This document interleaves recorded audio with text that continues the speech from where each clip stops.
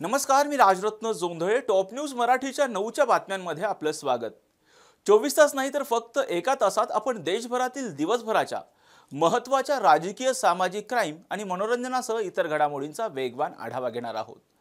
पाहूयात आज दिवसभरातील महत्त्वाच्या घडामोडी पुढील एक तासात.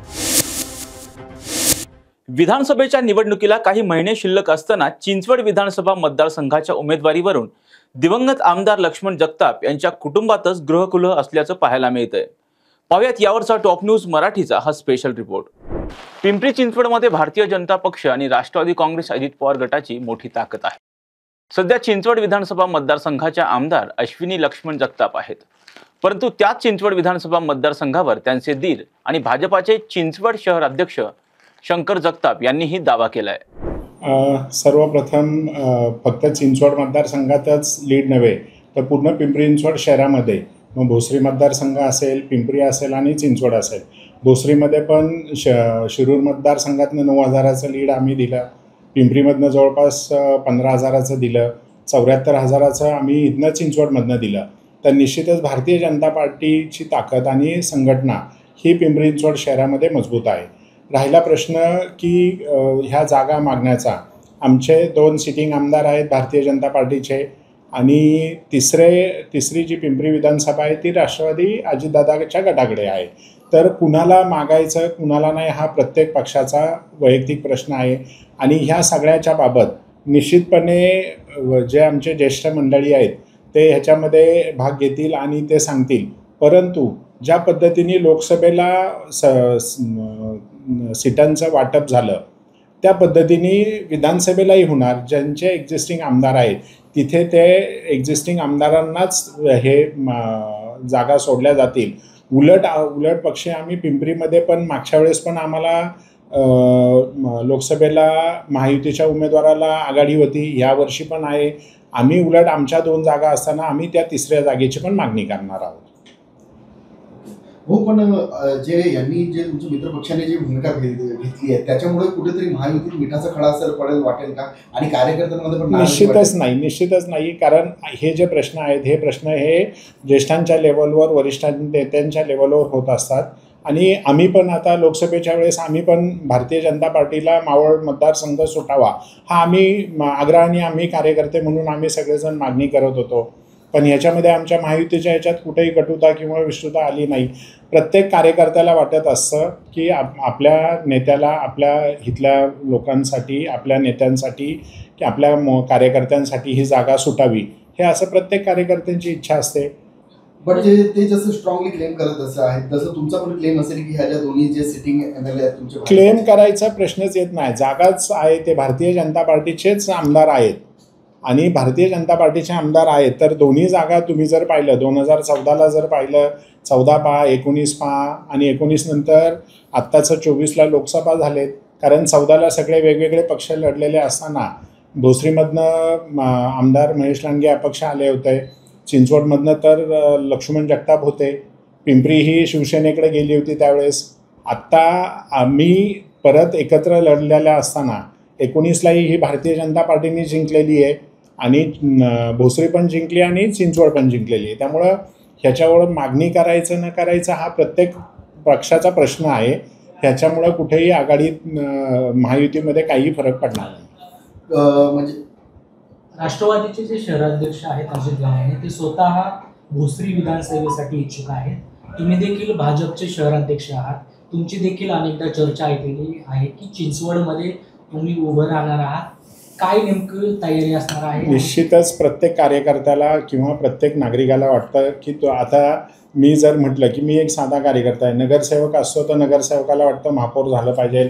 महापौराला वाटतं आमदार झालं पाहिजे. आमदाराला वाटतं खासदार झालं पाहिजे. तसं तुमच्यात आहे तसंच प्रत्येक माणसात आहे. प्रत्येकाची इच्छा असते. आणि प्रत्येकाची इच्छा असते प्रत्येकाला मोठं व्हायचं असतं. आणि ह्या सगळ्या याच्यात राजकारणामध्ये ज्याचं गणित बसेल तो पुढे जाईल. तुम्ही इच्छुक आहात हो मी? इच्छुक आहे. चिंचवड विधानसभेमध्ये मी मागेही इच्छुक होतो आत्ताही इच्छुक आहे. येणाऱ्या निवडणुकांमध्ये या जागा आपल्याकडेच असतील काय वाटतं हो निश्चितच ही जागा महायुती म्हणून जर आम्ही सगळे एकत्र लढलं तर ज्या पद्धतीने लोकसभेला महायुतीच्या जागेचं वाटप झालं त्याच पद्धतीने विधानसभेला होईल. ज्याच्या त्याला जागा मिळतील ज्या ठिकाणी ज्या पक्षाचे आमदार आहेत त्या पक्षाला ती जागा निश्चितच राहणार आहे. अशा पद्धतीने चिंचवड आणि भोसरी ह्या दोन्ही पण ह्या भारतीय जनता पार्टीलाच राहतील. आणि राहिला प्रश्न पिंपरीचा. तर पिंपरीसाठी आम्ही मागणी करतोच आहे की मागच्या वेळेस पण आम्हाला महायुतीच्या उमेदवाराला जास्त मतं पडली होती. आत्ताही आम्ही महायुतीच्या उमेदवाराला जवळपास नऊ हजाराचं लीड सॉरी पंधरा हजाराचं लीड तिथनं घेऊन दिलेलं आहे. तर यावेळेसही आम्ही पिंपरीची मागणी करू. हो माझा शेवटचा प्रश्न असेल की महायुतीमध्ये म्हणजे कोऑर्डिनेशन राहावं अशा प्रकारच्या जे मागण्या होत्या त्याच्यामुळे कुठेतरी संभ्रमाची स्थिती निर्माण व्हावी होऊ नये. यासाठी तुम्ही बावनकुळे साहेब किंवा फडणवीस साहेब यांच्याकडे काही कोऑर्डिनेशन करण्याची मागणी करणार का? हे जे सध्या नाही आता जर लोकसभेच्या बाबतीत झालं तर महायुतीचे कॉर्डिनेशन म्हणून पूर्ण पश्चिम भागाची कमिटी होती. त्याचे प्रमुख हे त्याचे प्रमुख एक नेमलेले होते. आणि त्याच्यानंतर जी संघटनात्मक जबाबदारी कॉर्डिनेशन म्हणून होती त्याच पद्धतीने लोकसभेला ज्या पद्धतीने होती तशी विधानसभेला पण राहील. आणि तीच या पुढच्या काळामध्ये कॉर्डिनेशन सगळ्यांमध्ये होईल. दिवंगत आमदार लक्ष्मण जगताप यांचे बंधू आणि चिंचवडचे आमदार अश्विनी जगताप यांचे धीर शंकर जगताप यांनी चिंचवड विधानसभा मतदारसंघावर दावा केल्यानंतर चिंचवड विधानसभा मतदारसंघ हा भाजपाच्या वाट्याला आहे. आणि मी ह्या मतदारसंघात चांगलं काम केलंय म्हणून भाजपा मलाच उमेदवारी देईल असं अश्विनी जगताप म्हणाल्यात. खरं तर मावळ मतदार संघ हा शिवसेनेच्या शिंदे गटाला सुटलेला होता आणि आम्ही सर्व महायुतीच्या लोकांनी तेव्हा शिंदे गटाचंच काम केलेलं आहे. तेव्हा आता सुद्धा भाजपसाठी भाजपने जो चिंचवडचा मतदारसंघ आहे तो भाजपसाठी सुटलेला आहे.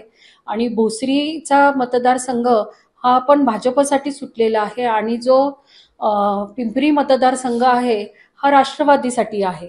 तर खरं तर त्यांनी ज्यांनी त्यांनी आपापला जो महायुतीचा धर्म आहे तो सर्वांनी खरं तर पाळला पाहिजे असं माझं मत आहे. पण यांच्या भूमिकेमुळे महायुतीमध्ये मिठाचा खडा पडू शकतो का? कारण की विद्यमान आमदार भाजपचे आहात तुम्ही. आणि असा काही फॉर्म्युला ठरला होता महायुतीमध्ये की ज्या ठिकाणी ज्यांचा आमदार राहील तेच त्या ठिकाणी उमेदवार राहतील. असा काहीही मिठाचा खडा वगैरे पडणार नाहीये कारण महायुती ही कायम राहणार आहे शेवटपर्यंत राहणार आहे. ही विधानसभा होईपर्यंत महायुती ही कायम राहणार आहे. कारण आमची परवा दिल्ली मुंबईला मिटिंग झाली तेव्हा देवेंद्र फडणवीस यांनी खुद्द त्यांनी सांगितलं की आपल्याला कामाला लागायचं आहे आणि महायुतीच्या सर्व जणांनी ही शेवटपर्यंत महायुती ही अशीच राहणार आहे. आणि तेव्हा तुम्ही सगळ्यांनी आता विधानसभेच्या कामाला सगळ्यांनी लागायचं आहे असं सांगितलेलं आहे. तर तुम्ही म्हणता की फडणवीस साहेबांनी आपल्याला विधानसभेच्या तयारीला लागायला सांगितलं. असं असताना म्हणजे चिंचवडमध्ये बरेच इच्छुक उमेदवार देखील आहेत. स्वतः तुमचे जे धीर आहेत शंकर जगताप. त्यांनी देखील इच्छा व्यक्त केली आहे चिंचवड मतदारसंघातून लढण्याची. खरं तर ही लोकशाही आहे. प्रत्येकाला आपलं मत मांडण्याचा अधिकार आहे. आणि त्यांना जो प्रश्न विचारला गेला त्याच्यानुसार त्यांनी त्यांचं मत मांडलेलं आहे. प्रत्येकाला मत मांडण्याचा अधिकार असतो त्यांनी त्यांच्या मनामध्ये जे आहे ते त्यांनी त्यावेळेला बोलून दाखवलं. पण जेव्हा पक्ष किंवा महायुतीत उमेदवारी देताना ते तुमचाच विचार करतील आणि तुम्हालाच उमेदवारी मिळेल याविषयी तुम्ही ठाम आहात? कारण माझं एक वर्षभराचं जे काम होतं मला साहेब गेल्यानंतर लगेचच निवडणुका लागल्या आणि माझ्यावरती पूर्णपणे विश्वास ठेवून भाजपाने भाजपने जे मला तिकीट दिलं आणि त्या अनुषंगाने मी निवडून आले सगळ्यांनी मला जी मदत केली संघ संघाने सर्व लोकांनी सर्व कार्यकर्त्यांनी भाजपच्या लोकांनी सगळ्यांनी जी मला मदत केली त्याच्यामुळे मी जी निवडून आले जो विश्वास माझ्यावरती दाखवला साहेबांवरती जसा विश्वास होता तसाच माझ्यावरती दाखवला. त्याप्रमाणे मी ज्या विश्वासाला पात्र ठरले आणि एक वर्षामध्ये मी जी कामं करून दाखवली मग त्याच्यामध्ये पुनावळ्याचा प्रश्न असेल कचरा डेपोचा ज्यामध्ये एक लाख लोक ज बाधित होत होती परत त्याच्यानंतर साडेबारा टक्क्याचा जो प्रश्न असेल तो मी सोडवलेला आहे. त्याच्यानंतर शास्तीकराचा प्रश्न होता मी महा आमदार झाल्यानंतर लगेचच तो पण प्रश्न सुटलेला होता. परत आयुक्तालयाचा प्रश्न असेल जो मुशीला होणार होता आयुक्तालय ते वाकडला मी आणलेलं आहे. असे बरेचसे प्रश्न मी मार्गस्थ लावलेले आहेत. त्याच्यानंतर आत्ताच्या येणाऱ्या ज्या अधिवेशनामध्ये पण मी बरेचसे प्रश्न लक्षवेधी म्हणून मांडलेले आहेत. आणि ते प्रश्न पण मी नक्कीच लोकांचे जे प्रश्न आहेत ते मी सोडवण्याचा पुरेपूर प्रयत्न करणार आहे. या अनुषंगाने मला असं वाटतं की माझी मी जे काही काम केलेलं आहे त्याची नक्कीच तिथं त्या परफॉर्मन्सची नक्कीच विचार केला जातील जाईल आणि तिकीट मला भेटेल. माझा एक शेवटचा प्रश्न असेल आपण म्हणताय की मी कामं केली त्यामुळे मला विचार होईल माझ्या विधानसभेसाठी पण लक्ष्मण भाऊचे उत्तराधिकारी खरे उत्तराधिकारी म्हणून तुमचं अजून अ, जुमाने किंवा ताकदीने विचार होऊ शकतो. नक्कीच उत्तराधिकारी म्हणून माझाही तेवढाच विचार होऊ शकतो. कारण महिलांचं जे जाळं निर्माण करायचं काम होतं ते भाऊनींनीच त्याचं छोटंसं रोपटं आम्ही लावलेलं होतं. जे बचत गटाच्या माध्यमातून आज जवळजवळ बाराशे बचत गट आमचे आहेत. आणि त्या माध्यमातून भरपूर मोठं असं कार्य आमचं सुरू आहे. आणि अजूनही महिलांचा खूप मोठा प्रतिसाद माझ्या बाजूनी आहे. मला खूप मोठा मोठं असं महिलांचं प्रेमही भेटत आहे. आणि जितकी साथ त्यांची भेटते एक महिला आमदार म्हणून मला जेवढं त्यांनी प्रेम दिलेलं आहे भाऊ नसताना सुद्धा एक वर्षामध्ये मला खूप सारं प्रेम त्यांचं भेटलेलं आहे. दिवंगत आमदार लक्ष्मण जगताप यांच्या कुटुंबातील त्यांचे बंधू शंकर जगताप आणि त्यांच्या पत्नी आमदार अश्विनी जगताप यांनी चिंचवड मतदारसंघावर दावा केल्यामुळं कुटुंबातच गृहकलह दिसतोय. त्यामुळे पक्षाचं मोठं नुकसान होत आहे त्यामुळे इतर पर्यायांचा शोध घ्यावा अशी मागणी भाजपाचे पिंपरी चिंचवडचे माजी सरचिटणीस अमोल थोरात यांनी केली आहे. प्रथम राष्ट्र नंतर पक्ष म्हणून स्वतः. असं भारतीय जनता पार्टीचं ब्रीदवाक्य आहे. आत्ता चिंचवडच्या आमदार अश्विनीताईंनी स्वतः आमदारकी लढणार असं मत व्यक्त केलेलं आहे. तसंच शंकरभाऊ जगताप शहराचे अध्यक्ष यांनी सुद्धा मी चिंचवड विधानसभेसाठी इच्छुक आहे असं बाईट दिली. कार्यकर्ता म्हणून मला असं वाटतं या दोघांमधला जो ग्रहकल दिसत आहे याच्यामध्ये कार्यकर्त्याचं नुकसान होते आणि पक्षाची जी प्रतिमा आहे याला सुद्धा मा- एक प्रकारे त्याला धक्का लागतो. त्यामुळे पक्षवाढीसाठी हे धोकादायक आहे. आणि या दोघांनी मला असं वाटतं दोघं जरी वेगवेगळी भूमिका मांडत असले तर दोघे मला असं वाटतं आतून एकच आहेत. दोघं घरातले सदस्य असल्यामुळे दोघं एकच आहेत. तर ते पक्षाची वेगवेगळी भूमिका मांडत असले स्वतः तिकीट हवं म्हणून. पण तरी मला असं वाटतं दोघं एकच आहेत आणि माझी अशी भूमिका आहे येणाऱ्या काळामध्ये पक्षाचं मजबूतीकरण होण्यासाठी एकीने पुढे जायला पाहिजे आणि पक्षाकडं अनेक पर्याय उपलब्ध आहेत येणाऱ्या काळामध्ये पक्ष चांगला व्हावा कारण या लोकसभेला ज्या प्रकारे पक्षाचं मताधिक्य कमी झालेले आणि या पोटनिवडणुकीमध्ये सुद्धा आपल्याला मताधिक्य कमी झालेले आहे. त्यासाठी आपल्याला येणाऱ्या निवडणुकीला सामोरं जात असताना हे आपल्यासाठी मार्ग खडतर असणार आहे. त्यासाठी पक्षाने एकीने पुढे जावा कार्यकर्ता म्हणून माझी विनंती दरम्यान चिंचवड विधानसभा मतदारसंघावरून विद्यमान आमदार अश्विनी जगताप आणि त्यांचे दिल शंकर जगताप यांनी केलेल्या दाव्यामुळे भारतीय जनता पक्ष आगामी विधानसभा निवडणुकीत चिंचवडमधून कोणाला संधी देतं हे पाहणं आता महत्वाचं ठरणार आहे. अशाच महत्त्वपूर्ण बातम्यांसाठी पाहत राहा टॉप न्यूज मराठी आपला महाराष्ट्र आपली बातमी. स्वागत. राज्याचे उपमुख्यमंत्री अजित पवार यांच्या पत्नी सुनेत्रा पवार यांची राज्यसभेवर खासदार म्हणून बिनविरोध निवड झाली. मात्र राज्यसभा खासदारांची असणारी सहा वर्षांची टर्म सुनेत्रा पवार पूर्ण करू शकणार नाहीत. यामागचं नेमकं कारण काय आहे हे पाहूया टॉप न्यूज मराठीच्या या स्पेशल रिपोर्टमधून बारामती लोकसभा मतदारसंघातून खासदार सुप्रिया सुळेंच्या विरोधात सुनेत्रा पवार यांनी लोकसभेची निवडणूक लढवली होती. मात्र या लोकसभा निवडणुकीत सुनेत्रा पवारांना पराभवाचा सामना सहन करावा लागला. मात्र त्यानंतर आता सुनेत्रा पवार यांची राज्यसभेवर राष्ट्रवादी काँग्रेसच्या कोट्यातून प्रफुल्ल पटेलांच्या जागी वर्णी लागली आहे. प्रफुल्ल पटेल हे जुलै दोन हजार बावीसमध्ये राज्यसभा खासदार म्हणून महाविकास आघाडी सरकारच्या काळामध्ये निवडून गेले होते. त्यांचा कार्यकाळ जुलै दोन हजार बावीस ते जुलै दोन हजार अठ्ठावीस असा होता. मात्र प्रफुल्ल पटेल यांनी यावर्षी मार्च दोन हजार चोवीसमध्ये राजीनामा देऊन पुन्हा लोकसभा मिळवली आणि त्यामुळे प्रफुल्ल पटेलांचा कार्यकाळ हा मार्च दोन हजार चोवीस ते मार्च दोन हजार तीस असा असणार आहे. सुनेत्रा पवार यांची प्रफुल्ल पटेलांच्या रिक्त जागी वर्णी लागल्यानं त्यांचा कार्यकाळ केवळ चार वर्षाचा असणार असून सुनेत्रा पवार यांचा कार्यकाळ जून दोन हजार चोवीस ते जुलै दोन हजार अठ्ठावीस इतका असेल. सुनेत्रा पवार यांची राज्यसभेवर बिनविरोध खासदार म्हणून निवड झाल्याने आता एकट्या पुणे जिल्ह्यात तब्बल सात खासदार असणार आहेत. यामुळे राज्यात सर्वाधिक खासदार असणारा पुणे हा एकमेव जिल्हा असणार आहे. पुणे जिल्ह्यात पुणे शिरूर मावळ आणि बारामती असे लोकसभेचे चार मतदारसंघ येतात. यापैकी पुणे लोकसभेतून मुरलीधर मोह हे लोकसभेवर विजयी झाले असून केंद्रात नागरी उड्डाण व सहकार खात्याचे राज्यमंत्री झाले आहेत. बारामती लोकसभेतून सुप्रिया सुळे शिरूर लोकसभेतून अमोल कोल्हे आणि मावळ लोकसभेतून श्रीरंग बारणे विजयी झाले आहेत. तर शरद पवार आणि मेधा कुलकर्णी या राज्यसभेवर खासदार आहेत. त्याचबरोबर आता सुनेत्रा पवार यांची राज्यसभेत एंट्री झाल्यानं एकट्या पुणे जिल्ह्यातच सात खासदार असणार आहेत. तर पवार परिवारातून शरद पवार सुप्रिया सुळेनंतर आता सुनेत्रा पवार खासदार झाल्यानं एकाच कुटुंबात तीन खासदार असणार आहेत. पिंपरी चिंचवड शहरातील बोराडेवाडी परिसरामध्ये काल एका भरधाव कार चालकाने एका महिलेला जोरदार धडक दिली. या धडकेत महिला गंभीर जखमी झाली आहे.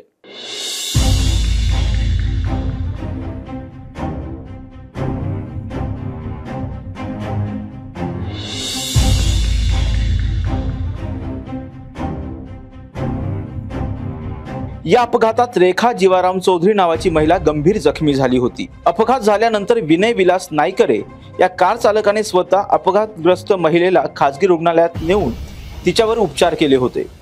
आता या प्रकरणात M I D C Bhosari police स्टेशनमध्ये भरधाव वेगाने तसेच निष्काळजीपणाने कार चालवल्याप्रकरणी विनय विलास नाईकरे या आरोपी विरोधात M I D C Bhosari police स्टेशनमध्ये गुन्हा दाखल करण्यात आला असून त्याला अटकही करण्यात आली आहे. सदरची जी घटना आहे ती कालची आहे म्हणजे बारा तारखेची दुपारी साडेतीन ते चारच्या दरम्यान हा मोराडेवाडी मोशी या ठिकाणी अपघात झालेला आहे. तर यामधील जे जखमी आहेत त्यांना तात्काळ सदरचा जो वाहन चालक आहे त्याने स्वतःच खाजगी हॉस्पिटलमध्ये ॲडमिट केलं होतं. त्या महिलेचे नातेवाईक म्हणजे पती आणि मुलं या त्या ठिकाणी उपस्थित होते. याची कालच आपण दखल घेतली होती पण त्या ठिकाणी उपचार चालू असल्यामुळे त्यांचे जे पती आहेत आज रोजी आप- पोलीस स्टेशनला आलेत. त्यांनी तक्रार दिल्याप्रमाणे आज आपण गुन्हा दाखल केलेला आहे. सीसीटीव्ही फुटेजमध्ये जी आहे ती महिला म्हणजे मोठ्या जोरात कुदताना दिसते तर सध्या काय परिस्थिती आहे रुग्णालयामध्ये उपचार. जो सी सी टी व्ही फुटेजमध्ये जो आघात दिसतोय तर त्या प्रमाणात सुदैवाने त्यांना जखमा नाही आहेत. वैद्यकीय अधिकारी जे आहेत त्या प्रायव्हेट हॉस्पिटलमध्ये त्यांच्याशी चर्चा केली आहे. वैद्यकीय प्रमाणपत्र देखील प्राप्त केलेलं आहे. त्यांना डोळ्याला डोळ्याच्या वरती छोटीशी जखम आहे आणि एक मायनर हेअरलाईन फ्रॅक्चर आहे असं प्रायमरी आपल्याला सांगण्यात येत आहे. एक्सरे रिपोर्ट्स आणि बाकी इन्व्हेस्टिगेशन झाल्यानंतर पुढील गोष्टी समोर या घटनेची माहिती मिळताच तत्परतेने एमआयडीसी पोलिसांनी गुन्हा दाखल करून घेतलेला आहे प्रामुख्याने. त्यानंतर तपासादरम्यान ही माहिती समोर आली आहे का की काही ड्रिंक वगैरे काही त्यांनी केलं होतं का वाहन चालकाने नाही. कालची जी माहिती आपल्याला ज्यावेळी आली त्याच क्षणी आपली एम एल सी प्राप्त झाल्यानंतर पोलिसांनी दखल घेतली. त्या दरम्यान मद्यप्राशन केल्याबाबत कुठेही त्याच्यामध्ये तक्रार नाही किंवा तसं आढळलं देखील नाही. परंतु वाहनाच्या संदर्भात जी तपासणी आपण आर टी ओकडनं करून घेऊ. पिंपरी चिंचवड शहरात आज सकाळी नाशिक फाटा येथील कलासागर हॉटेल समोर रस्त्यावरून धावत्या ट्रॅव्हल्स बसने अचानक पेट घेतल्याचा धक्कादायक प्रकार घडलाय. ज्यावेळी ट्रॅव्हल्स बसनं पेट घेतला त्यावेळी बसमध्ये काही प्रवासी देखील प्रवास करत होते. मात्र चालकाच्या सतर्कतेमुळे मोठी दुर्घटना टळली. पिंपरी चिंचवड महापालिकेच्या अग्निशमन दलाने वेळीच घटनास्थळी दाखल होऊन ट्रॅव्हल्स बसला लागलेली आग आटोक्यात आणली. ट्रॅव्हल्स बसमधील वायरिंगमध्ये शॉर्ट सर्किट लागल्यानं आग लागली असावी असा अग्निशमन दलाचा प्राथमिक अंदाज आहे. आगीत कोणतीही जीवितहानी झाली नसली तरीही ट्रॅव्हल्स बस मालकाची मोठी वित्तहानी झाली आहे. राष्ट्रवादी काँग्रेस पक्षाच्या पंचवीसाव्या वर्धापन दिनी बोलत असताना राष्ट्रवादी काँग्रेस पक्षाचे शरदचंद्र पवार गटाचे प्रदेशाध्यक्ष जयंत पाटील यांनी मी केवळ चारच महिने प्रदेशाध्यक्ष पदावर आहे असं विधान केलं आणि राजकीय वर्तुळात एकच खळबळ उडाली. जर जयंत पाटील नसतील तर राष्ट्रवादी काँग्रेस पार्टी शरदचंद्र पवार गटाच्या प्रदेशाध्यक्षपदी नेमकी कुणाची वर्णी लागू शकते हेच पाहूया टॉप न्यूज मराठीच्या या स्पेशल रिपोर्टमधून फक्त चार महिने. नोव्हेंबर नंतर नोव्हेंबर नंतर मीच नमस्कार करेन. पण ही चार महिने आपण एका दिलानं राहू. दोन हजार अठरा पासून जयंत पाटील हे राष्ट्रवादी काँग्रेस पार्टीचे प्रदेशाध्यक्ष म्हणून काम पाहत आहेत. अजित पवार यांनी वेगळी भूमिका घेतल्यानंतरही जयंत पाटील यांनी शरद पवारांसोबत राहण्याचा निर्णय घेतला आणि ते प्रदेशाध्यक्षपदी कायम राहिले. मात्र आता स्वतः जयंत पाटील यांनी मी केवळ चारच महिने प्रदेशाध्यक्ष राहणार असून नोव्हेंबर नंतर मी स्वतः नमस्कार करेन असं विधान केल्यानं राजकीय वर्तुळात अनेक तर्कवितर्क लढवले जात आहेत. जयंत पाटील यांच्यानंतर राष्ट्रवादी काँग्रेस पार्टी शरदचंद्र पवार गटाच्या प्रदेशाध्यक्षपदी नेमकी कुणाची वर्णी लागू शकते पाहूया ग्राफिक्सच्या माध्यमातून. रोहित पवार. कर्जत जामखेडचे आमदार असणारे रोहित पवार हे राष्ट्रवादी काँग्रेस पार्टी शरदचंद्र पवार गटातील युवा आणि आक्रमक चेहरा म्हणून ओळखले जातात. युवा संघर्ष यात्रेच्या माध्यमातून रोहित पवार यांनी संपूर्ण महाराष्ट्रावर फिरत युवकांचे प्रश्न जाणून घेतले होते. युवा चेहरा म्हणून रोहित पवारांच्या गळ्यात प्रदेशाध्यक्ष पदाची माळ टाकली जाण्याची शक्यता आहे. विद्या चव्हाण. विधान परिषदेच्या आमदार राहिलेल्या विद्या चव्हाण यांच्याकडे राष्ट्रवादी काँग्रेस पार्टीच्या शरदचंद्र पवार गटातील अनुभवी चेहरा म्हणून पाहिलं जात असून विद्या चव्हाण यांनी राष्ट्रवादी काँग्रेस पक्षाच्या महिला प्रदेशाध्यक्ष म्हणूनही काम पाहिलंय. निलेश लंके. नुकतेच नगर दक्षिणमधून खासदार झालेल्या निलेश लंके यांची जनसामान्यांचा नेता अशी ओळख असून शांत तितकाच आक्रमक चेहरा अशी लंके यांची ओळख आहे. जनतेमधून असणारी निलेश लंके यांची लोकप्रियता पाहता त्यांच्याकडे शरदचंद्र पवार गटाचं प्रदेशाध्यक्षपद दिलं जाऊ शकतं असं राजकीय वर्तुळात बोललं जात आहे. अमोल कोल्हे. शिरूर लोकसभा मतदारसंघातून सलग दुसऱ्यांदा विजयी झालेले अमोल कोल्हे हे आपल्या हटके आणि धडाकेबाज भाषणांसाठी ओळखले जातात. सर्वांशी असणारे सलोख्याचे संबंध ही अमोल कोल्हे यांची जमेची बाजू असून यामुळेच त्यांच्या गळ्यामध्ये प्रदेशाध्यक्ष पद दिलं जाऊ शकतं. वंदना चव्हाण. राष्ट्रवादी काँग्रेस पार्टीच्या पहिल्या फळीतील नेत्या अशी ओळख असणाऱ्या वंदना चव्हाण या शांत आणि मृदुभाषी स्वभावासाठी ओळखल्या जातात. पुणे महानगरपालिकेत वंदना चव्हाण यांनी महापौर पद भूषवलं असून राज्यसभेच्या खासदार म्हणूनही त्यांनी काम पाहिलंय.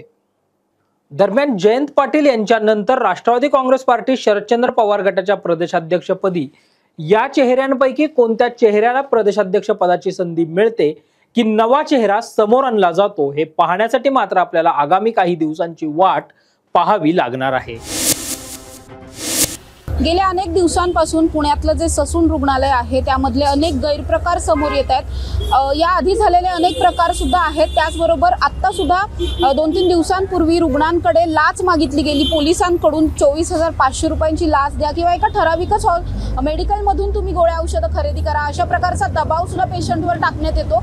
या प्रकारचा एक व्हिडिओ व्हायरल झाला. त्याच्याच विरोधामध्ये माझ्याबरोबर सध्या वसंत तात्या मोरेत तात्या काय सांगाल? तुम्ही आज इथे आला होता. टीमची भेट घेतली काय झालं नेमका आम्ही आता मस्के साहेब म्हणून जे आता नवीन आलेत त्यांना आम्ही आत्ता भेटलो ससूनच्या टीमला आणि त्यांना आत्ता आम्ही एक निवेदन आणि हजार पाचशे रुपये दोनशे रुपयेच्या नोटांचा एक हार त्यांच्या टेबलला आता आम्ही घातलेला आहे. त्यांच्या नेमप्लेटला घातला आहे.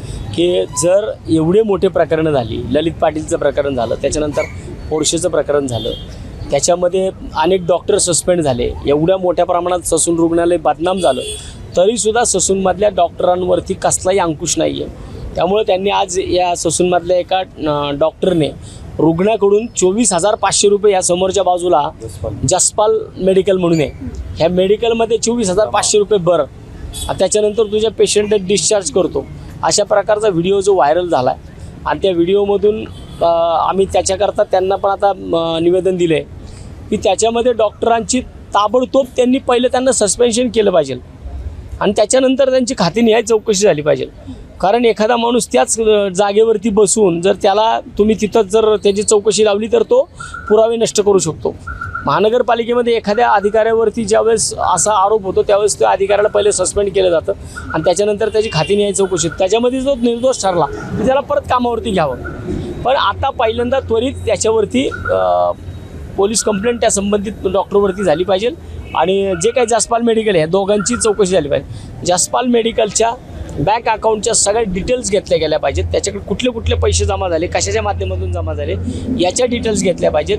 शिवाय आतमध्ये अँटी करप्शनचे बोर्ड कुठंच नाही आहेत की ज्याच्यावरून एखाद्या नागरिकाला जर फोन करायचा झाला तर अँटी करप्शनचे अँटी करप्शनचे बोर्ड सर्वत्र लावावेत. शिवाय ससूनचा डेड हाऊस विभाग जो आहे ह्या डेड हाऊस विभागामध्ये अनेक लोक त्यांचा ज्यावेळेस एखादा व्यक्ती मयत होतो व्यक्ती मयत झाल्यानंतर त्या ठिकाणी पोस्टमार्टमला ज्यावेळेस पेशंट आणलं जातं मयत आणलं जातो त्या टायमाला साडेसहाशे रुपये पाचशे रुपये तिथं का कापडाचे घेतले जातात. तर अशा प्रकारे कुठलाही एक रुपयासुद्धा देऊ नये असे निर्देश तिथं असतानासुद्धा तिथं कुठलाही बोर्ड नाही आहे त्यामुळं बाहेर गावावरून जे पेशंट इकडं पोस्टमार्टमसाठी येतात त्यांना पैसे घेतले जातात. असा कुठलाही रुपया घेतला जाणार नाही. यासाठी सुद्धा आज ह्या सगळे विषय जे आहेत की पैशाचे विषय त्यामुळं आज आम्ही जे नवीन तुम्ही नव्याने आलात त्यामुळं आज आम्ही त्यांचा मागं जे डॉक्टर होते काळे. डॉक्टर इकडे उंदीर निघाले होते आय सी यूमध्ये एका मुलाला त्या उंदीर चावले होते. त्यामुळे आम्ही त्यांना उंदराचा पिंजरा भेट दिला होता. आणि आज जर पैशाचा विषय तर म्हणून आज आम्ही त्यांना पैशाचे नकली पैशाच्या नोटांचा हार त्यांना आता भेट देऊन आलेले. पण भविष्यात त्यांना हे पण सांगितलं आहे की आमची सगळीच आंदोलनं अशी शांततेने होतील याची आम्ही गॅरंटी देऊ शकत नाही. आम्ही आतमध्ये नाही काय करणार. पण तुमच्या ज्या डॉक्टरांवरती ज्या विषयांवरती आरोप होतील त्यांना गेटच्या बाहेर आल्यानंतर ना मग त्यांच्या अंगावरती आम्ही कपडे ठेवणार नाही. हे सुद्धा त्यांना आम्ही अशा प्रकारे सुद्धा इशारा देऊन आलेलो आहे आज. तात्या ससून रुग्णालय म्हटलं की सगळ्यांनाच असं वाटतं की गरिबांसाठीचं हॉस्पिटल आहे सर सरकारी हॉस्पिटल आहे. खूप लांबून लोक येतात आणि वारंवार इथे अशाच प्रकारची सेवा दिली जाते अशा खूप तक्रारी सध्या येत आहेत. मी त्यांना तेच सांगितलं की या खरा याच्यामध्ये अडचण ही आहे की जे प्रशासन आहे डॉक्टर प्रशासन आणि त्यांचा सगळा स्टाफ ह्यांच्यामध्ये समन्वय नाही आहे त्यांच्यात कॉर्डिनेशन नाही आहे जर ह्यांच्यामध्ये मुळात समन्वय साधला गेला जर त्या इतर डॉक्टरांना जे डॉक्टर तिकडे ऑफिसमध्ये डीन म्हणून बसतात ह्यांचा जर इतर लोकांशी संपर्कच नसेल कारण तुम्ही जर येऊन नुसते ए सीमध्ये बसत असताल तर मग बाकीच्या लोकांना तुमची दहशतच राहणार नाही. आज आमचा सर्वसामान्य नागरिक रुग्ण जेव्हा इकडे येतो ना तो गेटमधनं आतमध्ये गेल्यानंतर त्या सिक्युरिटीसुद्धा कशा पद्धतीने वागतात? आम्ही इकडे आत्ता मध्यंतरी व्हीलचेअर भेट दिल्या. व्हीलचेअर घेण्यासाठी त्याचा मोबाईल ठेवून घेतला जात होता एखाद्या पेशंटचा इथे व्हीलचेअर नव्हते ससून रुग्णालय म्हणलं महाराष्ट्रातलं सगळ्यात मोठं रुग्णालय उपचार होतात तिकडं. पण ह्याच्या इथं व्हीलचेअर नव्हत्या. आम्ही पाच व्हीलचेअर आणि पाच स्ट्रेचर आम्ही इथं मागच्याच महिन्यामध्ये भेट दिली. मग अशा गोष्टी मला वाटतं की या सगळ्या विषयांकडं राज्य सरकारने लक्ष घातलं पाहिजे. जर राज्य सरकारने या विषयाकडे लक्ष घातलं नाही तर मग ह्या अशा प्रकारची लूटमार जी आहे ती अशीच चालू राहील इकडे. नक्कीच माझ्याबरोबर वसंत तात्या मोरे होते. तात्यांनी ज्या प्रकारे सांगितलंय की हा एक नंबर सुद्धा इथे दिलेला आहे. हेल्पलाईन नंबर आहे. जर कुठल्याही प्रकारे लाच मागितली गेली किंवा कुठलाही प्रॉब्लेम ससूनच्या रुग्णालयात आलेल्या रुग्णांना होत असेल तर या संदर्भामध्ये तुम्ही थेट संपर्क करू शकणार आहात. त्याचबरोबर वसंत तात्या आता या सगळ्यामध्ये कुठेतरी आक्रमक झालेले पाहायला मिळतात आज त्यांनी नोटांचा हार दिलाय. पुन्हा एकदा जर अशी एखादी घटना घडली असं एखादं प्रकरण समोर आलं तर मात्र जे कोणी संबंधित डॉक्टर नर्सेस जे कोणी असतील त्यांच्या रस्त्यावर आम्ही कपडे ठेवणार नाही. रुग्णालयाच्या बाहेर आल्यानंतर आम्ही आमचं आंदोलन करू अशा प्रकारचा इशारा सुद्धा त्यांनी दिला त्यामुळे आता तरी ससूनच्या प्रशासनाला जाग येणार का हे बघणं महत्वाचं असणार आहे. पुण्याहून समृद्धी जाधव टॉप न्यूज मराठी. तर त्याच्याकरता महत्त्वाचा महत्त्वाचा विषय की गेल्या अडीच तीन वर्षापासून ज्या पुणे महानगरपालिकेची निवडणुका होत नाहीत याला सर्वस्वी जबाबदार राज्य शासन आहे.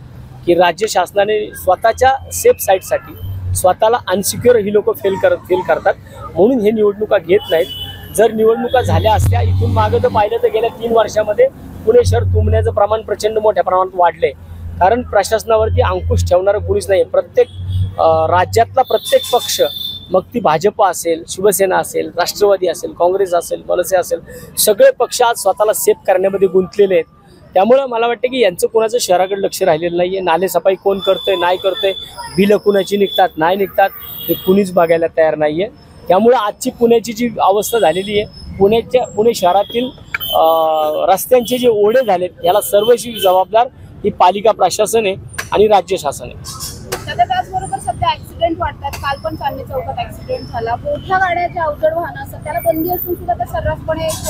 तर मला वाटतं की त्याला बंदी आपण शहरामध्ये करू शकत नाही कारण या शहरामध्ये गेल्या मी तर पंधरा वर्ष नगरसेवक आहे. पंधरा वर्षामध्ये मी नुसतं पुणे शहराच्या बाहेरून रिंग रोड होणार. हीच घोषणा ऐकते पण रिंग रोड काय होत नाहीये. जोपर्यंत हा रिंग रोड होत नाही त्यामुळे पुणे शहरातनं पासआउट होणारे अनेक नॅशनल हायवे जसं की तुम्ही बघितला तर आपला सोलापूर रोड आमचा सातार रोड हे सगळे शहरातनं जाणारे रस्ते आहेत. त्यामुळे हे शहरातनं जाणारे नॅशनल हायवे आहेत. ह्याच्यावरती पहिल्यांदा रिंग रोडचं काम झालं पाहिजे. नाही तर अशा प्रकारे नाहक पुणेकरांचा बळी जात राहणार आणि त्याला सर्वस्वी एक चांदणी चौक झाला. म्हणून काय पुणे शहर विकसित झालं असं नाहीये. जे चित्र निर्माण केलं जातं जे व्हिडिओज व्हायरल केले जातात मला वाटतं की शहरातल्या मध्यवर्ती भागातल्या रस्त्यांकडे सुद्धा लक्ष देणं फार गरजेचं आहे. शहरातली अवजड वाहने वि- उदाहरणार्थ मी अनेक वर्षापासून सांगतोय की शहरातल्या एस टी या हद्दपार झाल्या पाहिजेत. शहराच्या पी एम पी एम एलचे जे वर्कशॉप आहेत हे शहरातनं हद्दपार झाले पाहिजेत. शहराच्या आउटस्कटला ज्या महानगरपालिकेच्या ॲम्युनिटी स्पेस आहेत ह्या ॲम्युनिटी स्पेसवरती हे सगळं गेलं पाहिजे. तर नुसतंच तुम्ही म्हटलं की बाहेरच्या गाड्या येतात. बाहेरच्या गाड्या अशा किती येतात? परंतु त्यांच्यापासून जे अपघात होतात तर मी मागाशी बोलल्याप्रमाणे याच्यावरती एखाद्याच्या मृत्यूस कारणीभूत होतात त्या तीनशे चार आणि तीनशे चार अ अशी दोन कलम आहेत. मला वाटतं की एखादा खऱ्या अर्थानं तर निष्काळजीपणाने अपघात झाला असेल तर त्याच्यावरती अपघातामध्ये तीनशे चार अ दाखल न होता तीनशे चारच दाखल झाला पाहिजे. जेणेकरून त्याला त्या संबंधित आरोपीला त्या निष्काळजीपणाने गाडी चालवली म्हणून त्याला तो जेलमध्ये जाईल आणि त्याला लक्षात येईल की आपली काहीतरी चुकी झाली. परंतु पोलीस असं करत नाहीत. पोलीस तीनशे चारचाच गुन्हा तीनशे चार अचा गुन्हा दाखल करतात. आणि जो पोर्शेमध्ये झाले ते दुसरी जामीन होतो. आणि त्याच्यानंतर मग लोकांना रस्त्यावरती यावं लागतं. आता जो प्रकार आईमाता मंदिरापाशी झाला जो प्रकार चांदणी चौकात झाला जो प्रकार कात्रजला झाला गेल्या दोनशे दोन चार दिवसामध्ये याच्यामध्ये नाहक लोकांचे बळी गेलेत. आणि ह्या वेळेस आता काय झालं की पब्लिक आक्रमक झाले. मग पब्लिक अशा वेळी काय करतं? पहिले तर गाड्यांची तोडफोड करतं संबंधित ड्रायव्हरला मारहाण करतं. मग याच्यामधून जर एखादा व्यक्ती मयत झाला तर मग त्याला कोण जबाबदार? मला वाटतं की याच्यामध्ये पोलिसांनी विशेष लक्ष घालून तीनशे चारचेच गुन्हे दाखल केले पाहिजेत. तर त्या पुण्याला पहिल्याच अ, प- प्रयत्नामध्ये पहिल्याच टर्ममध्ये मंत्रीपद मिळालंय. तुमचं काही बोलणं झालं का? किंवा नाही अण्णांचं मनापासून अभिनंदन मी करेल. आणि मला वाटतं की ज्या कारणांसाठी अण्णांना मंत्रीपद दिले त्याच्यामधनं अण्णा थोडं आता दिल्लीतनं पुण्यात पण येतील. आणि पुण्यामध्ये आल्यानंतरनं अण्णांनी थोडं पुणे शहरातल्या रस्त्यांवरती कारण अण्णा पुणे शहराचे दहा वर्ष स्वतः नगरसेवक आहेत. अडीच वर्ष महापौर होते. स्टँडिंग कमिटी त्यांच्याकडे होती. त्यामुळे त्यांनी थोडं पुण्यातल्या रस्त्यांवरती वाहतूक पुण्यातले फ्लायओव्हर्स याच्यावरती सुद्धा लक्ष दिलं पाहिजे. आणि खऱ्या अर्थानं जर आज एवढ्या वर्षानंतरनं पुण्याला मंत्रिपद मिळाले मंत्री पुण्यामध्ये होते परंतु निवडून आलेल्या लोकसभा सदस्यता मला वाटतं पंचवीस तीस वर्षानंतर पहिल्यांदा मंत्री झाले. तर अण्णांच्या माध्यमातून पुण्याचं चांगलं नियोजन होईल शहरातल्या रस्त्यांचं नियोजन होईल शहराच्या वाहतुकीचं नियोजन होईल. आणि ते झालं. तर खऱ्या अर्थानं मंत्रिपद मिळाल्यानंतर त्या मंत्रिपदाचं काहीतरी पुणे शहराला मिळालं असं सार्थकी लागेल. शेवटचा प्रश्न आहे की कुठे कमी पडलाय असं वाटतंय कमी? नाही खंत वाटत नाही. लढलो ह्याला फार महत्त्व आहे. कारण मला वाटते की घरात बसण्यापेक्षा लढलेलं बरं. आणि मी लढलो.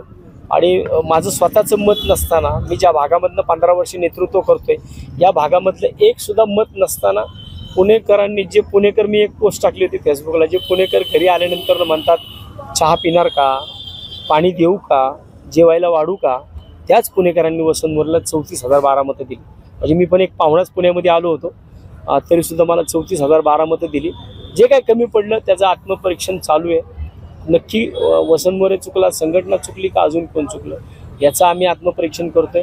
आणि लवकरात लवकर नव्या जोमाने परत कामाला लागू. आतापर्यंत का? नाही दिसणार? शंभर टक्के दिसतील. विधानसभेला दिसतील महानगरपालिकेत दिसतील.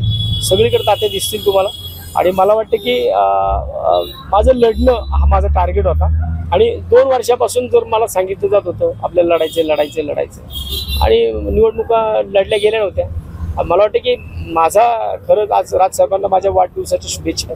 आणि या शुभेच्छा असताना त्यांनी काल जो निर्णय घेतला एकत्र लढण्याचा कदाचित हाच निर्णय लोकसभेच्या बाबतीमध्ये एकत्र लढण्याचा असता तर वसंत मोरे आज सुद्धा तिथंच असता. परंतु आता असो त्या झाल्या गेल्या गोष्टी. आता परत पुन्हा तिकडं जाणं नाही. आहे तिकडून कुठून तरी सुधारणा करून आत्मपरीक्षण करून काहीतरी मार्गक्रमण करावं लागेल. तुम्ही म्हणल्याप्रमाणे कुठं कमी पडलो याचा शोध चालू आहे. आणि बऱ्यापैकी मला वाटतं की त्याचा शोध घेण्यामध्ये मी यशस्वी झालो आहे आणि भविष्यात महिन्या दोन महिन्यामध्ये निवडणुका आहेतच. त्यावेळेस काय करायचं काय नाही करायचं ते योग्य निर्णय मित्रपरिवारासोबत घेऊ करू. दिवसात महायुती दिसणार नाही आणि अर्थसंकल्प अधिवेशन संपल्यानंतर हे तिन्ही पक्ष वेगळे होतील असं रोहित पवारांचा दावा आहे. असं आहे की त्यांनी काय भविष्य कुठे पाहिलं मला काय कल्पना नाही. पण मी पाहिलेल्या भविष्यामध्ये कसं काय दिसत नाही. सर एक हिंदी में सवाल पूछता हूँ जब से नतीजे आए हैं चुनाव के संघ काही साधू मंत्र्यांकडून आता प्रसादाला सुद्धा सर्टिफिकेट दिले जाणार आहे. तशी संकल्पना प्रसाद आला. प्रसाद प्रसाद. घ्यायला ओम प्रमाण मला काय मला सर एक, सवाल एक सवाल और पूछता. हूँ सर लोकसभा स्पीकर को लेकर सवाल है कि लोकसभा स्पीकर का चुनाव होना है। एनडीए अलायंस के तौर पर आप ये जो पद है लोकसभा स्पीकर का वो अलायंस पार्टी को आना चाहिए या फिर बीजेपी को आपका क्या मत है? उस पर क्या विचार है आपके? ना मैं लोकसभा का सदस्य हूँ ना राज्यसभा का। आप काफ़ी मैं- leader है, सर। क्या कमेंट करूँ उसके बारे में? सर, सर, आप जिनको उसके बारे में जो सोचना है वो सोचेंगे भाई। सर विधानसभेच्या विधानसभेच्या संदर्भातला दावा आजही कायम आहे. विधानसभेच्या संदर्भातला तुम्ही जो दावा केला होता तो आजही कायम असणार आहे? की शिंदे अवश्य साठ सदस्य जे आहेत जे आपण आमच्याकडे आहे ते पण आमच्याकडे आहेत. काय तर पंधरा वीस तर जास्ती मिळतील की नाही लढायला? आम्हाला? त्याच्या अहो हो माझा तो मागरा आहे तो. तुम्ही नाशिकचं नेतृत्व करता कांद्याच्या प्रश्नावरती नाफेडचे अधिकार गोठवले वाणिज्य मंत्रालय आता थेट दर ठरवणार आहे त्यांच्याशी- सोयीचं आहे का? देखिए अब उनका नाराज होना स्वाभाविक है। क्योंकि जब जैसे मैं विश्लेषण करता हूँ कि ये क्यों हुआ, वैसे वो भी कर रहे हैं। अब मैं ये कहना चाहूँगा कि भाई 48 सीटों में हमको कितनी सीटें दी गई? चार। और चार में जो है, दो सीट जो है, वो तो जो शिरूर जो है, वो शिंदे साहब का आदमी उत्तराखंड में, और वो बाकी दूसरा क्या है, वो परमनी वो भी उन्होंने कहा कि एक धनगर समाज को देना चाहिए जानकर तो तो हमारे पहले में आए दो सीट एक रायगढ़, दूसरी बारामती। एक जगह हम जीत गए, एक जगह हम हार गए। अब उससे कैसे आप बोल सकते हैं कि अड़तालीस सीटों पर परिणाम हुआ? हमको तो दो ही सीट मिले सही मायने में लड़ने के लिए। दूसरी बात, ये मानता हूँ कि थोड़ी सी जो है, पीछे हट हुई है। मगर ये देश में दूसरे राज्यों में भी तो ये हुआ है। जैसे यूपी।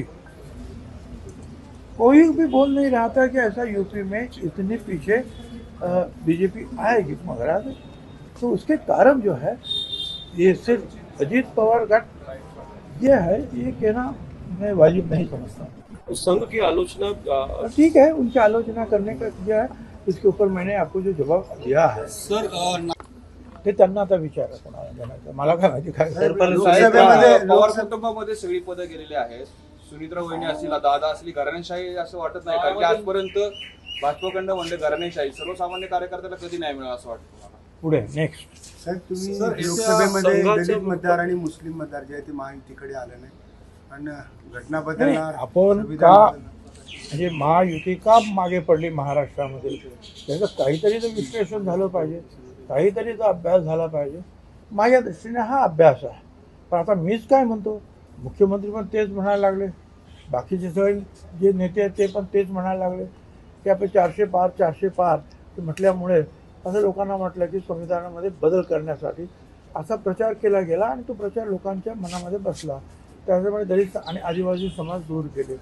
आणि मुस्लिम समाज तर दूर गेलेच होते. तुम्हाला कल्पना आहे. सर, त्याच्यामुळे- राज्य सरकारकडे पाठवून दिल्या. त्याच्यापैकी एकही नक्की झालेली नाही आणि त्याच्यावर सुद्धा निर्णय होत नाही. बघून आम्ही. मी स्वतः करीर साहेब जे चीफ सेक्रेटरी यांना पाच सात वेळा फोन करून सांगितलं. त्यांनी दोन तीन मीटिंग घेतलेल्या या बाबतीमध्ये. काय करावं कसं करावं काय असावं तिथे. आता मी म्हटलं एकदा तर काही करा जे काही करायचं ते सुरू तर करा. तर मग पाहू त्याच्यामध्ये काय ॲडिशन डिलिशन काय करायचं ते नंतर करता येतील आपल्याला. शाळेची सुद्धा घोषणा झाली होती तेव्हा. भिडेवाड्यामध्ये म, सावित्रीबाईंचे सावित्रीबाईंचं स्मारक म्हणून अ, शाळा जी आहे ती हो सुरू हो केली पण जाईल. आता त्यांचं असं म्हणणं आहे की तिथे काही अडचणी आहेत. शाळा निर्माण करण्यासाठी तिथे पार्किंगची जागा नाही आहे तिथे. आजूबाजूला जे त्यांचं म्हणणं आहे की अनेक शाळा आहेत मग मुलं येतील का तिथे? आणि मग त्याच्यासाठी किती माळ्याची बिल्डिंग बांधावी लागेल? ह्या सगळ्या पार्श्वभूमीवर मग तिथे कौशल्य विकास असं काही सुरू करावं का? स्मारक आणि कौशल्य विकास किंवा इतर काही गोष्टी सुरू करता येतील का? स्मारक आणि शिक्षण या दोन्ही गोष्टीचा तिथे कसा मेळ बसेल याचा विचार जो आहे अनेक काही म्हणजे दोन वर्ष तरी निदान आम्ही सगळे प्रयत्न करतो आहोत. आता एकदाच आम्ही सांगतो की काही निर्णय घ्या पण घ्या. शाळेचा प्रस्ताव बारगळलाय काय? पुढे फक्त.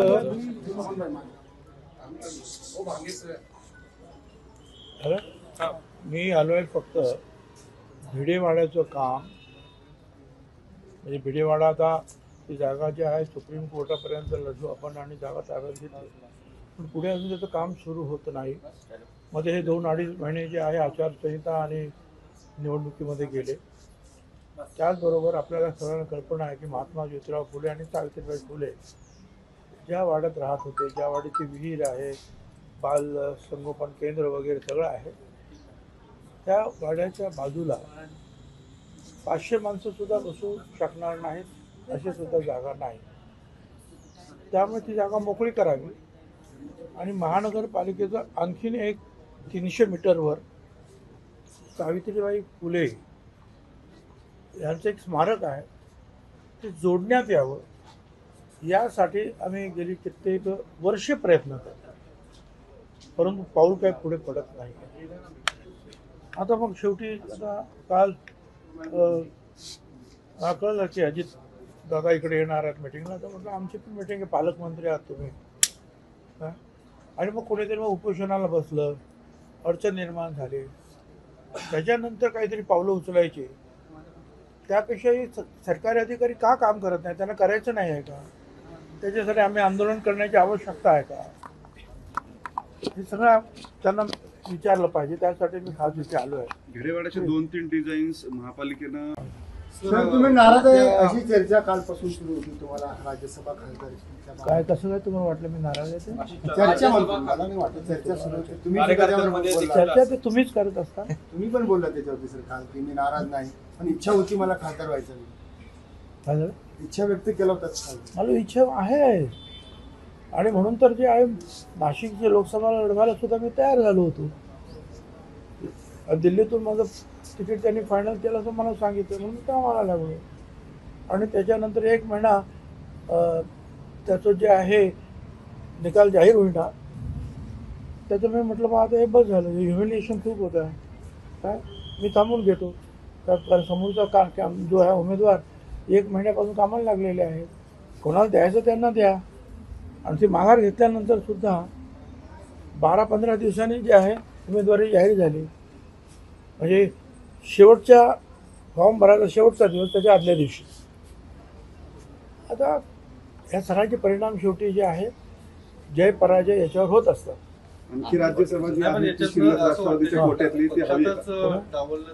हं? पक्षातून काही, नाही ठीक आहे आता पक्ष म्हटल्यानंतर सगळ्याच गोष्टी तुमच्या मनाप्रमाणे होत नाही. थांबावं लागतं काही वेळेला आपल्याला. तेव्हा थांबण्याची बरं माझ्या आयुष्यामध्ये सत्तावन्न वर्षाचं आयुष्य झालं माझं राजकारणात एवढं शिवसेना झालं तेवढं मला झालं. त्याच्यामध्ये अनेक वेळा असं झालं की आपल्याला वाटतं की असं व्हायला पाहिजे पण नाही होत आहे. असेल. कदाचित दैवाचा भाग असेल कदाचित काही कंपल्शन्स असतील. असतील आहेत त्यांचे प्रमुख अशा प्रकारची बैठक आज अकरा वाजता घेतली होती वेगवेगळ्या प्रकारच्या विधायक सूचना दिल्या त्या सूचना स्वीकारलेल्या आहेत त्याच्याबद्दलची अंमलबजावणी करण्याच्या बद्दल त्या त्या अधिकाऱ्यांना सांगितलेलं आहे काही निधी पण राहिलेला होता परंतु आत्ताच ऑर्डर आली की सगळा निधी जी आर काढायला सांगितलं CR माझ्या हातामध्ये आहे पोचलेला आहे. अशा प्रकारची सगळी काळजी धन्यवाद. पिण्याच्या पाण्याची ॲम्ब्युलन्सच्या संदर्भातली फायर ब्रिगेडच्या संदर्भातली या संपूर्ण काळजी राज्य सरकारने त्या ठिकाणी घेतलेली आहे. तर त्याच्यामध्ये पिंपरी चिंचवड महानगरपालिका पुणे महानगरपालिका पुणे जिल्हा परिषद सातारा जिल्हा परिषद सोलापूर जिल्हा परिषद आणि तिथे येणाऱ्या या आपल्या अ, पाणी मार्गामध्ये येणाऱ्या ज्या काही नगरपालिका ग्रामपंचायती आहेत त्या सगळ्यांना त्याच्यामध्ये विश्वासात घेतलं. की आज जरी बैठक घेतलेली असली तर याच्या आधी स्वतः विभागीय आयुक्तांनी आणि त्या त्या जिल्ह्याच्या जिल्हाधिकारी महोदयांनी पण या बैठका घेऊन या सगळ्या सन्मान्य मान्यवरांची चर्चा केलेली होती. अनेक नवीन नवीन पण सूचना त्या आलेल्या आहेत काही लॉकडाऊनचे आहेत. आज ही जरी आत्ता मिटिंग झालेली असली तरी राज्याचे प्रमुख यानंतर मुख्यमंत्री महोदयांनी पण पाच वाजता आढावा बैठक लावली. त्यांनी अर्धा तासच दिलेला आहे. त्याच्यावर जे प्रश्न माझ्या अखत्यारीत मी इथे इथं सोडू शकत नाही. जे मला राज्यस्तरावर सोडवणं गरजेचं आहे त्या प्रश्नाचे नोंद विभागीय आयुक्तांना घ्यायला सांगितलेली आणि त्यांनी आजच्या बैठकीमध्ये त्यांना सांगितली डी सीवरून त्या बैठकीला उपस्थित राहणार आहे अशा पद्धतीनं या आपल्या आषाढी एकादशी यात्रा आषाढी वारी त्याच्याबद्दल नियोजनाची बैठक आपण इथं पार पाडली. आज सकाळी सहा वाजल्यापासून बैठकीला सुरुवात केली. आपल्या इथं पुण्यामध्ये सिपिंगचं ऑफिस कमिशनर ऑफिस चांगल्या पद्धतीनं बांधायचं बरेच दिवस माझ्या डोक्यामध्ये होतं.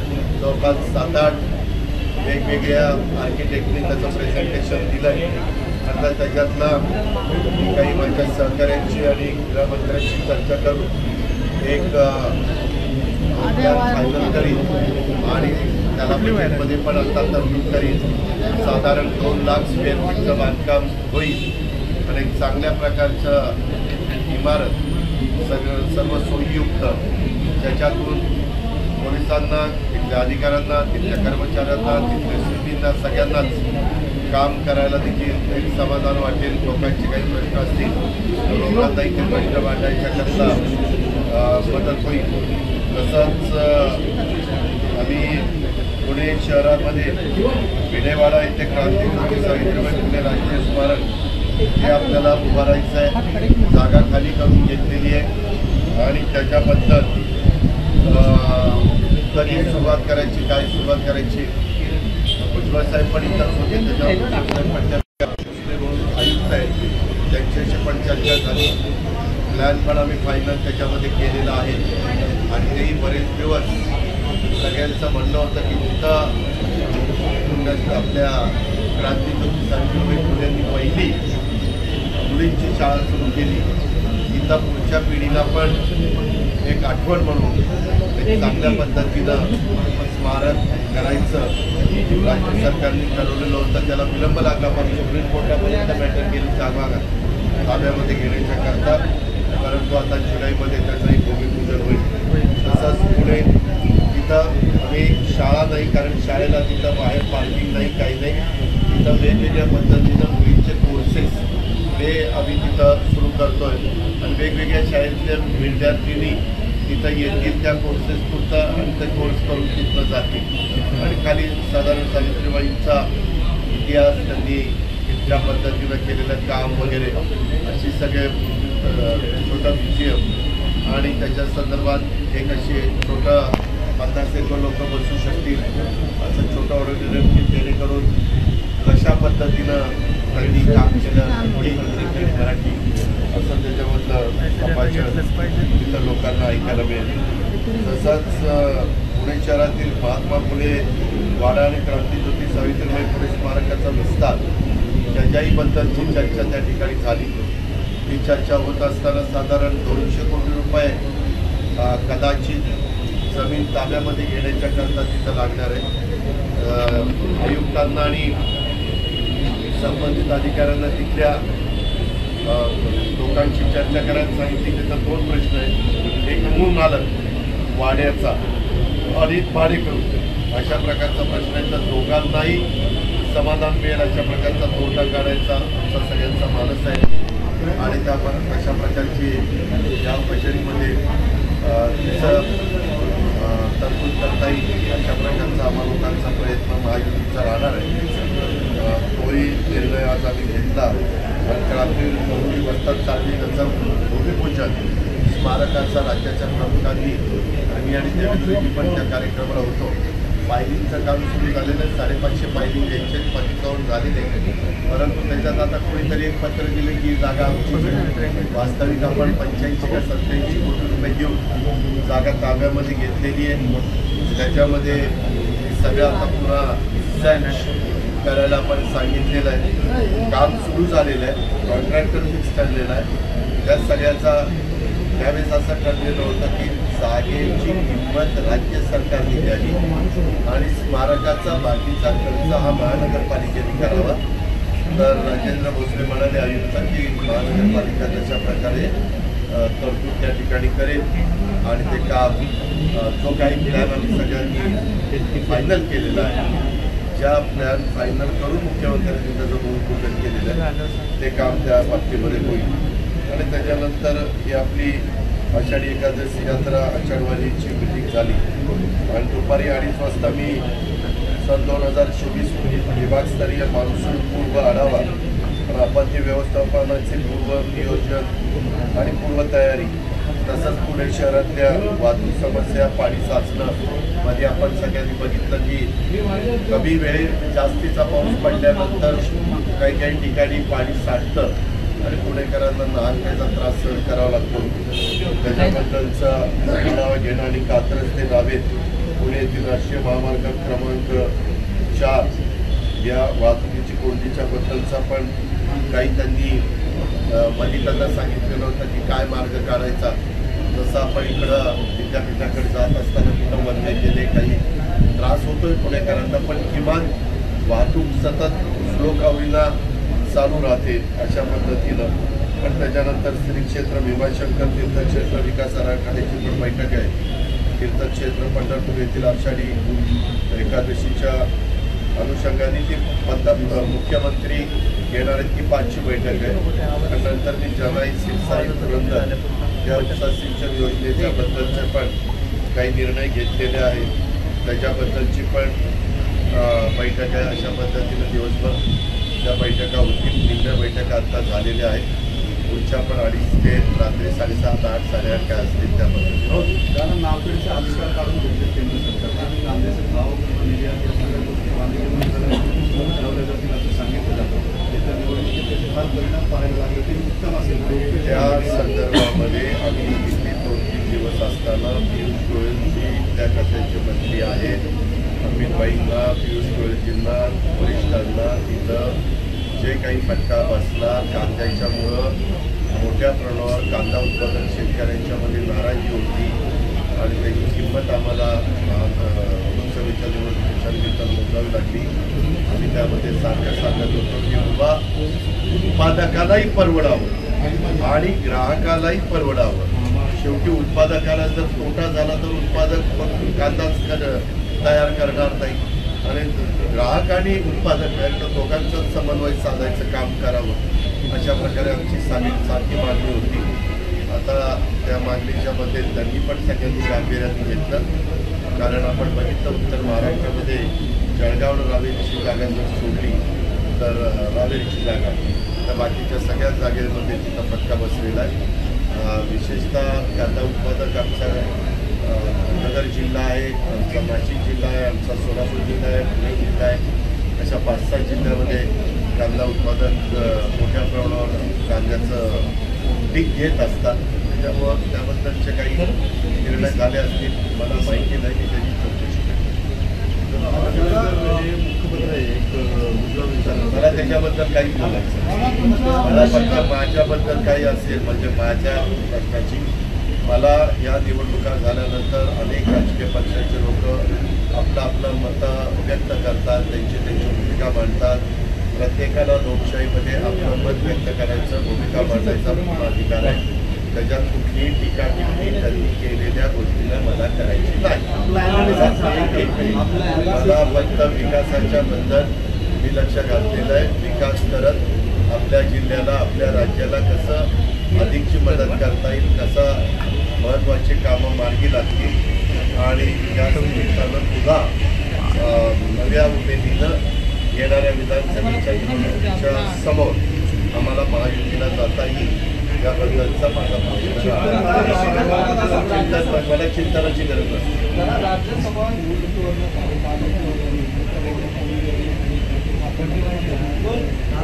हे दादांचं खोटं आहे. तुम्ही काय असतं? सध्या एक मिनिट आता तुम्ही प्रश्न विचारला. एक कुठल्याही पद्धतीनं तुम्हाला याच्यातलं काही माहिती नसतं. मस्तपैकी बातम्या देण्याचं काम तुम्ही करता तुमचा अधिकार आहे. पण स्वतः भुजबळांनी काल सांगितलं मी याच्यामध्ये नाराज नाही. प्रफुलबाईंनी सांगितलं तटकरेंनी सांगितलं तरी देखील काही जण मग आमचे विरोधक असतील किंवा आमचे फारच जवळचे मित्र असतील हे आमच्या फार विचार करतात असे. त्यांनी अशा बातम्या पिकवलेल्या आहेत. त्या बातम्यात तसुभर देखील तथ्य नाही. त्याबद्दलचा निर्णय पार्लमेंटरी बोर्डाने सुद्धा बसून त्या ठिकाणी घेतला. आणि काल फॉर्म भरलेला होता फॉर्म भरताना देखील तिथं एक दुःखद घटना घडली. अतिशय जवळचे देवेंद्र फडणवीस साहेबांची एक व्यक्ती होती काळे अहमद.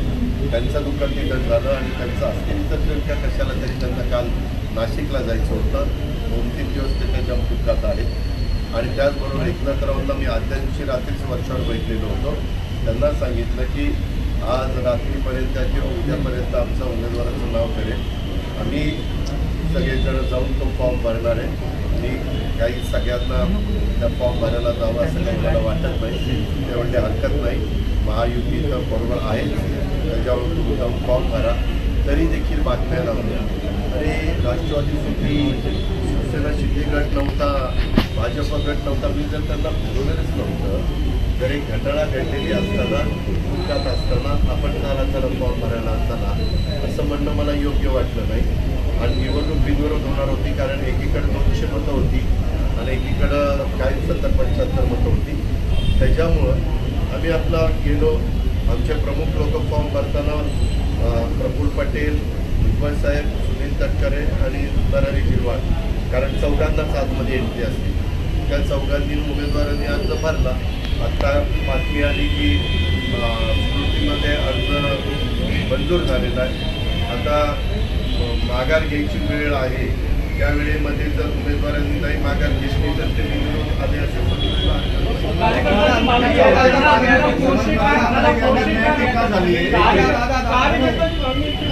एक मिनिट. तुम्ही काय टीका करावी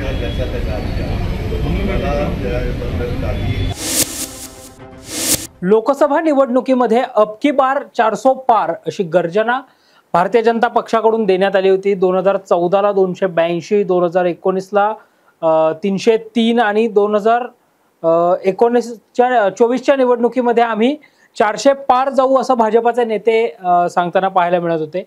प्रत्यक्षात मात्र भारतीय जनता पक्षाला दोनशे चाळीस जागांवर यश आलं. तर महाराष्ट्रामध्ये दोन हजार एकोणीसला भारतीय जनता पक्षाकडे असणाऱ्या तेवीस जागांपैकी दोन हजार चोवीसमध्ये केवळ नऊ जागा जिंकण्यामध्ये भारतीय जनता पक्ष जो आहे तो यशस्वी झाल्याचं पाहायला मिळालं आणि यानंतर भाजपा महाराष्ट्रामध्ये बॅकफुटला गेल्यानंतर आज भाजपाचं जे मुंबईतील मुख्यालय आहे वसंत स्मृती त्या ठिकाणी भाजपाची कोअर कमिटीची बैठक जी आहे ती बैठक झाली. निवडणूक व्यवस्थापन समितीची बैठक जी आहे ती बैठक देखील पार पडली आणि ही बैठक पार पडत असताना आगामी विधानसभा निवडणुकीच्या पार्श्वभूमीतून कशी विवरचना केली पाहिजे याबाबतचा एक आढावा जो आहे तो या बैठकीमध्ये जो आहे तो घेण्यात आला.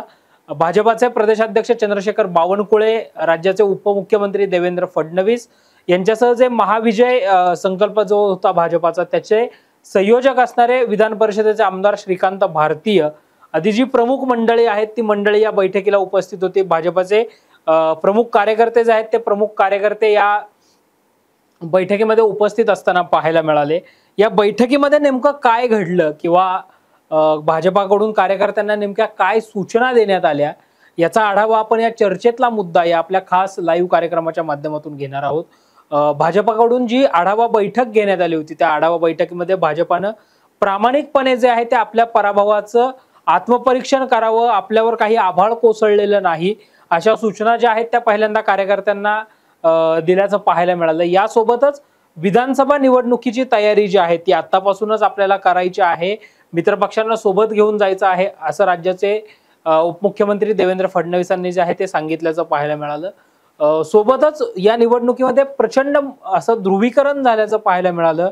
विरोधकांकडून खोटे नेरेटिव्ह जे आहेत ते सेट करण्यात आले आणि या खोट्या नॅरेटिव्हचा फटका जो आहे तो आपल्याला बसला असं देखील देवेंद्र फडणवीसांनी कार्यकर्त्यांना मार्गदर्शन करताना सांगितलं. सोबतच विधानसभेच्या निवडणुकीमध्ये आपल्याला विरोधकांचे खोटे जे नॅरेटिव्ह आहेत ते खोडून काढता आले पाहिजेत. त्यासाठी कार्यकर्त्यांनी प्रयत्न जे आहेत ते प्रयत्न करायचे आहेत असं देखील सांगितल्याचं पाहायला मिळालं. तर भाजपाचे जे प्रदेशाध्यक्ष आहेत चंद्रशेखर बावनकुळे यांनी जनतेने दिलेला कौल जो आहे तो कौल आम्हाला मान्य आहे.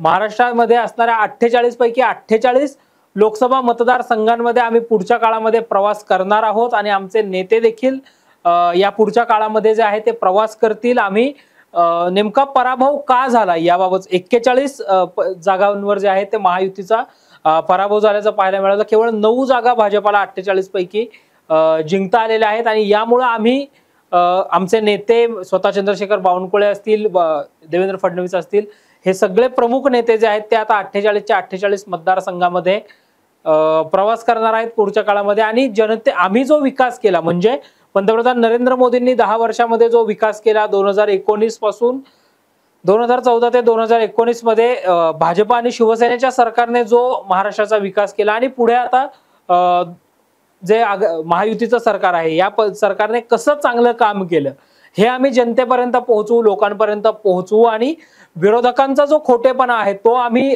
लोकांसमोर आणू असं चंद्रशेखर बावनकुळेंनी देखील बोलताना सांगितलेलं आहे. महाराष्ट्रामध्ये ज्या दोनशे अठ्ठ्याऐंशी जागा आहेत या दोनशे अठ्ठ्याऐंशी जागांवरूनही ज्यावेळी विधानसभेची निवडणूक पार पडली त्यावेळी घमासान मोठं पाहायला मिळालं होतं. कारण छगन भुजबळ यांनी एका कार्यक्रमामध्ये बोलताना असं सांगितलं होतं की आम्हाला ऐंशी ते नव्वद जागा देऊ असं भाजपाने आम्ही जेव्हा महायुतीत आलो तेव्हा सांगितलं होतं.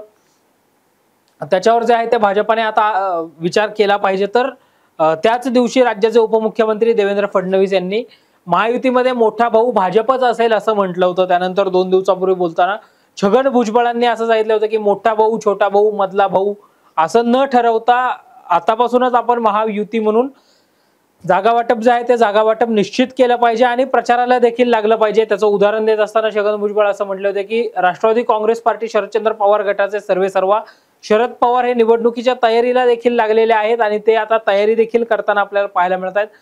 प्रचाराला देखील महाविकास आघाडीकडून सुरुवात जी आहे ती झाली आहे असं देखील छगन भुजबळ बोलताना आपल्याला पाहायला मिळाले होते. उद्या महाविकास आघाडीच्या नेत्यांची बैठक जी आहे ती देखील वायबी चव्हाण सेंटरमध्ये पार पडणार आहे आणि बैठकीनंतर पत्रकार परिषद जी आहे ती देखील महाविकास आघाडीच्या नेत्यांची पार पडणार आहे. नाना पटोले शरद पवार उद्धव ठाकरे संजय राऊत यासह प्रमुख नेते जे आहेत ते या बैठकीला उ- उपस्थित राहणार आहेत आणि या बैठकीमधून भाजपाच्या म्हणजे महा लोकसभेमधल्या पराभवान लोकसभेतल्या विजयानंतर महायुती आता विधानसभेचं स्ट्रक्चर जे आहे ते तयार करणार आहे. तर महायुती कडून देखील बैठकांचा सपाटा जो आहे तो सपाटा लावण्यात आल्याचं पाहायला मिळालं. इकडे पुण्यामध्ये असताना आज उपमुख्यमंत्री अजित पवार यांनी आपल्या आमदारांना देखील तंबी दिल्याचं पाहायला मिळतंय. विधानसभेच्या पार्श्वभूमीवर तयारीला आतापासूनच लागा अशा सूचना अजित पवारांनी आपल्या आमदार आणि कार्यकर्त्यांना दिल्याचं पाहायला मिळालंय. तेरा विधानसभा मतदारसंघ जे पुण्यातल्या आहेत प्रमुख त्याच्यावर आपण लक्ष केंद्रित करू असं देखील अजित पवारांनी सांगितल्याचं पाहायला मिळालं. एकंदरीतच लोकसभेतल्या पराभवानंतर भाजपा असेल किंवा महायुती म्हणून असेल कारण कालच एकनाथ शिंदेच्या शिवसेनेची बैठक जी आहे ती बैठक देखील वर्षा ह्या मुख्यमंत्र्यांच्या शासकीय निवासस्थानी पार पडली होती. आणि आज अजित पवारांनी का आमदारांना दिलेल्या सूचना असतील किंवा भाजपाचे वसंत स्मृतीमध्ये झालेली बैठक असेल कुठेतरी लोकसभेच्या पराभवानंतर महायुती म्हणून सावध पवित्रा घेतला जातोय हे असल्याचं पाहायला मिळत आहे आणि महाविकास आघाडी तिकडे आपल्या विधानसभेच्या तयारीला लागल्याचं पाहायला मिळतंय. उद्या जी महाविकास आघाडीची पत्रकार परिषद होणार आहे त्याच्यामध्ये नेमकं काय होतं आणि पुढच्या काळामध्ये महायुती म्हणून नेमक्या काय? व्यूहरचना दोनशे अठ्ठ्याऐंशी विधानसभा मतदारसंघासाठी आखल्या जातात. हे पाहणं महत्वाचं असणार आहे. या सगळ्याबाबतचे अपडेट्स आम्ही वेळोवेळी तुमच्यापर्यंत घेऊन येणार आहोत. आजच्या नऊच्या बातमीपत्रात इथे थांबण्याची वेळ झाली. पाहत राहा टॉप न्यूज मराठी आपला महाराष्ट्र. आपली बातमी.